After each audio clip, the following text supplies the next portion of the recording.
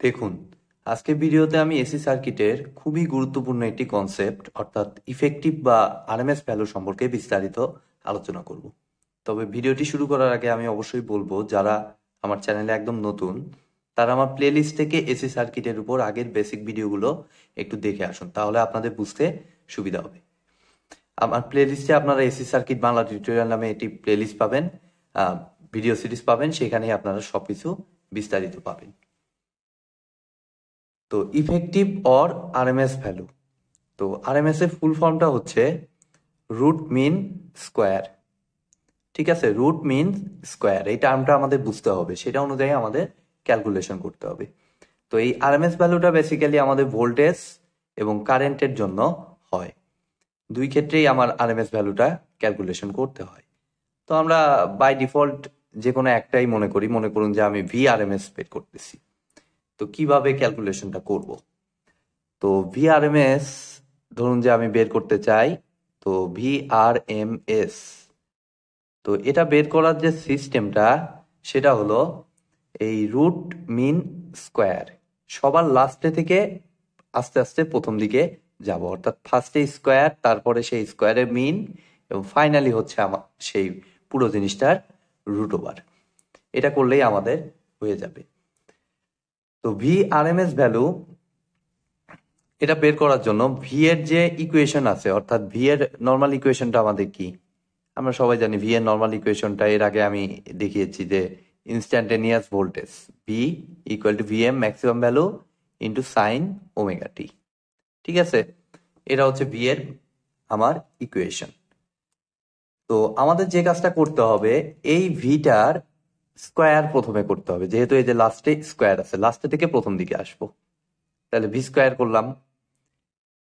এরকম আমার এই যে ভি স্কোয়ারটা আমি করলাম, এটা কত সংখ্যক আছে এই ভি স্কোয়ার মনে করুন যে এটা এই ভি স্কোয়ারটা আমি নিতেছি হচ্ছে কত পর্যন্ত? আমাদের এখানে দেখুন ভি এর যে ভ্যালু বিভিন্ন পয়েন্টে আচ্ছা আমি এভাবে আঁকাই, তাইলে আপনাদের বুঝতে সুবিধা হবে। ভি এম সাইন ওমেকাটি মানে কি?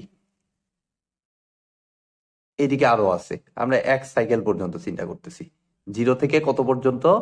টি পর্যন্ত আমি চিন্তা করলাম। এইদিকে আমার টাইম আর এদিকে হচ্ছে ভি এর ভ্যালু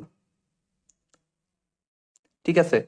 এটা টি বাই টু এটা টি বাই ফোর এরকম অসংখ্য ভ্যালু আছে। আর এটা হচ্ছে আমার ভি এম ম্যাক্সিমাম ভ্যালু তাহলে আপনারাই দেখুন ভি আমার জিরো পয়েন্টে আছে ভি আমার এই যে ওয়ান পয়েন্টে আছে, এরকম ভি আমার T by two T by four পয়েন্টে আছে থ্রি টি বাই ফোর পয়েন্টে আছে থ্রি এরকম অসংখ্য পয়েন্টে কিন্তু আমার এটা থ্রি টি বাই ফোর না সরি আমি ভুল বলছি T by four T by two three T by four T এরকম অসংখ্য পয়েন্ট আমার এখানে আছে।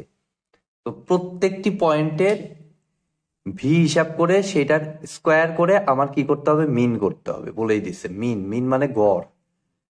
তাহলে কি করতে হবে? একাধারে অসংখ্য ভি স্কোয়ারকে আমার কি করতে হবে? যোগ করতে হবে। তো এতগুলো ভি স্কোয়ার প্রতি পয়েন্টে ভি স্কোয়ার তো আলাদাভাবে সামেশন করে আমার কুলানো যাবে না। তো এই জন্য আমাদেরকে ব্যবহার করতে হয় হচ্ছে ইন্টিগ্রেশন যে ইন্টিগ্রেশনটা ব্যবহার করলে এই সামটা সরাসরি আমার চলে আসে। মনে করুন আমি জিরো থেকে টি পর্যন্ত করতে চাই। তাহলে আমি কীভাবে সেটাকে এভারেজ করব? জাস্ট এই ভি স্কোয়ার পর্যন্ত আমি ইন্টিগ্রেশন করব। জিরো থেকে টি ভি স্কোয়ার পর্যন্ত ইন্টিগ্রেশন করব কার সাপেক্ষে? টি এর সাপেক্ষে। এবং সেটাকে কি করতে হবে? এভারেজ করতে হবে। এটা তো জাস্ট সামেশনটা হইল এই যে এইটুকু পার্ট কিন্তু জাস্ট আমার সামেশন তাহলে এভারেজ করতে হইলে আমার কি করতে হবে? জাস্ট যতটুকু টাইম আমি নিলাম জিরো থেকে টি পর্যন্ত, অর্থাৎ টি পরিমাণ টাইম নিলাম, সেই টি দিয়ে আমার কি করে দিতে হবে? ভাগ করে দিতে হবে। তাহলেই আমার হয়ে যাবে V R M S value ঠিক আছে? তো এই ফর্মুলা কিন্তু আমাদের ম্যাথের ক্ষেত্রে অ্যাপ্লাই করতে হবে।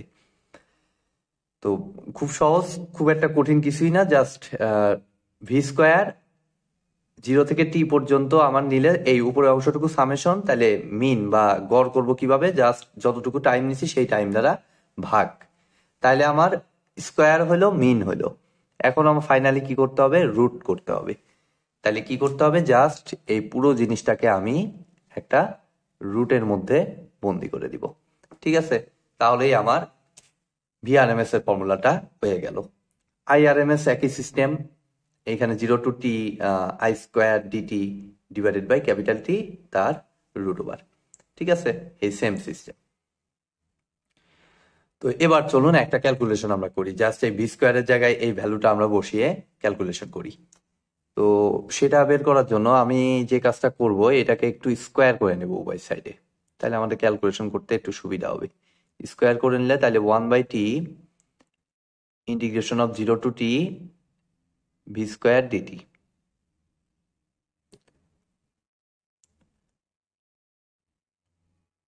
one by T, দেখুন, ভি স্কোয়ারের ভ্যালুটা এখন এই যে এখান থেকে বসা, বসাবো। কত আছে? জিরো টু টি এটা বসাইলে আমার VM square sine square omega T DT তাহলে ভিএম স্কোয়ারটা এখন কনস্ট্যান্ট সামনে চলে যাবে। তাহলে VM square by T zero to T sine square omega T এবার এইচএসসির ইন্টিগ্রেশন আমার অ্যাপ্লাই করতে হবে। দেখুন সাইন স্কোয়ার ওমেগা টি এটার কি সরাসরি ইন্টিগ্রেশন আছে?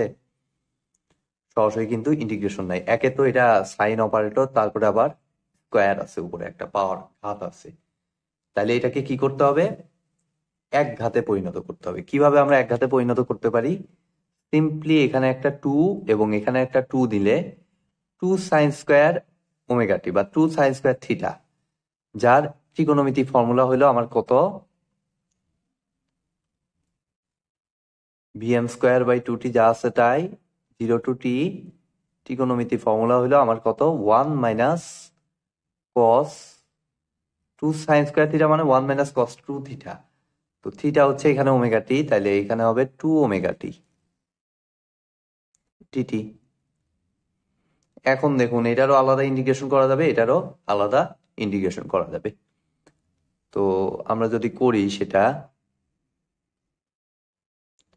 two T integration of zero to T one DT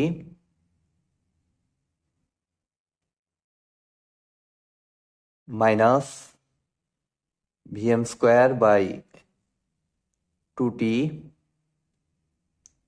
integration of zero to T cos two omega T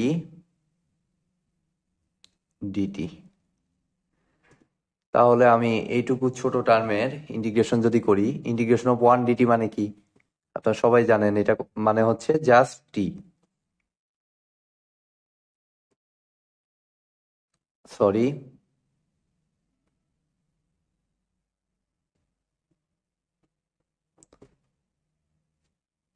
just T তারপরে একটা থার্ড ব্র্যাকেট দিয়ে আপার লিমিট হচ্ছে capital T lower limit zero SSC integration just আর এটাকে integration করব কীভাবে?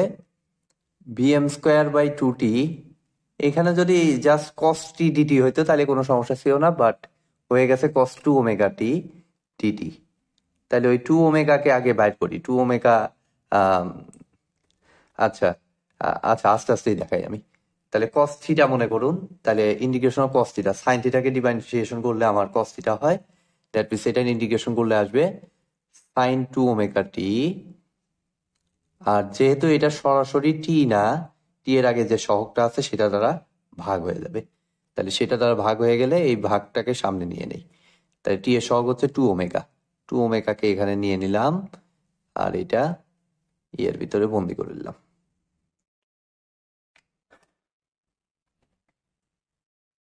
এখন আমি দেখুন উপরের অংশটা মুছে দিচ্ছি, এগুলো আমার লাগতেছে না জাস্ট এই ফর্মুলাটা রেখে দিলাম। এটা কিন্তু ভি আর এম এস স্কোয়ারের ভ্যালু আমি আগে কিন্তু স্কোয়ার করে নিচ্ছিলাম আমি এখানে লিখে নিচ্ছি। ভি আর এম এস স্কোয়ারের ভ্যালু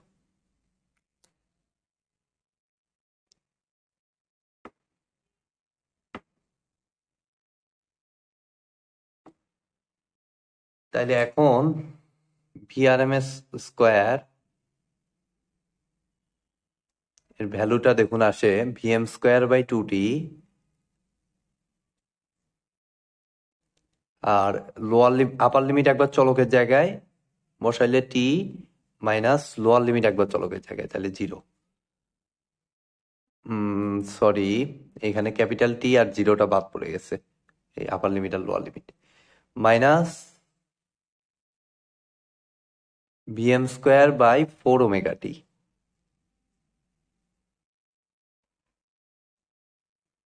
এখন এখানে আবার বসাই। আপার লিমিট একবার চলকের জায়গায়, তাইলে সেটা বসাইলে আমার sine two omega capital T minus sine zero sine জিরোর মান হচ্ছে জিরো দ্যাট মিনস এটা এরকমই। এখন এগুলো আর লাগতেছে না।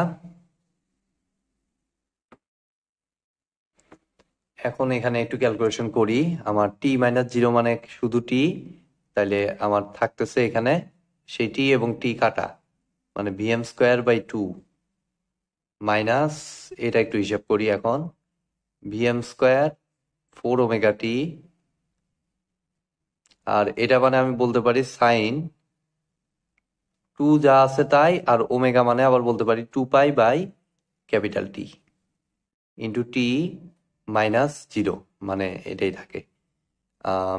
এখন যদি হিসাব করি, আমার টি এবং টি কাটা, তাহলে sine four pi sine four pi এর মান আপনারা ক্যালকুলেটার বসিয়ে দেখুন তো কত আসে। আমার মনে হয় ওইটা জিরো আসবে। আপনারা বসিয়ে দেখুন, ওইটা জিরো আসার কথা। তো আমি বসিয়ে দিলাম জিরো, তাইলে আমার এটা পুরোপুরি আউট আমার শুধুমাত্র থাকতেছে আমার কত? VM square divided by two যেটা কিনা ভিআরএমএস স্কোয়ারের ভ্যালু ভিএমটা ম্যাক্সিমাম ভ্যালু তাহলে ভিআরএমএস অ্যাকচুয়ালি আমার কত? ভিআরএমএস আমার অবশ্যই হবে। রুট ওভার করে দিলে আমার কত আসতেছে?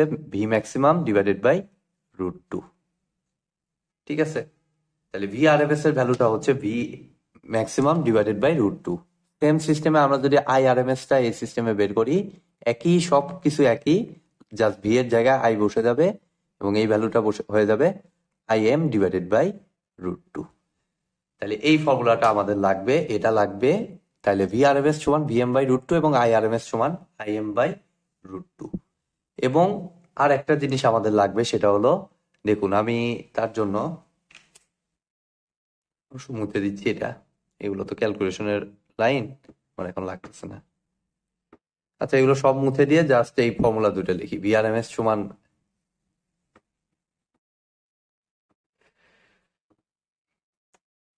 ভিআরএমএস সমান ভিএম বাই রুট টু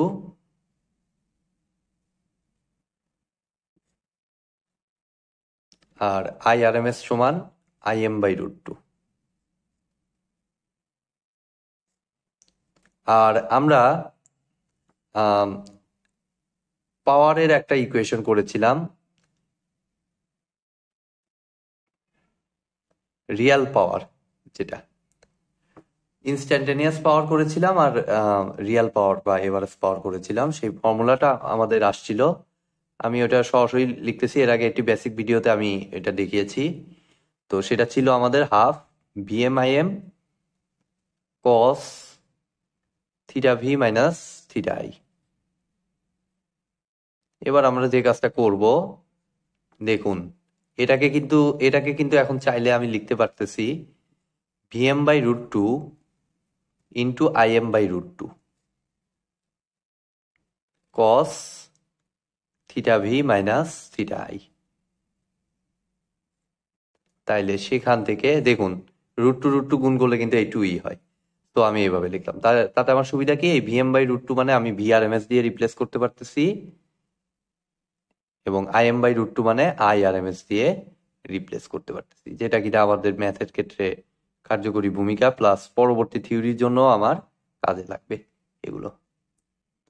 তো এই হচ্ছে আমার ইফেক্টিভ বা আরএমএস ভ্যালুর থিওরিটিক্যাল আলোচনা। নেক্সট ভিডিও থেকে আমি এই আরএমএস ভ্যালুর উপর ম্যাথ করানোর চেষ্টা করব। আজকের মতো ভিডিওটি এ পর্যন্তই। ভিডিওটি যদি ভালো লেগে থাকে অবশ্যই ভিডিওতে একটি লাইক দিবেন, বন্ধুদের সাথে বেশি বেশি শেয়ার করবেন, আর চ্যানেলে নতুন হয়ে থাকলে অবশ্যই চ্যানেলটি সাবস্ক্রাইব করবেন। ধন্যবাদ।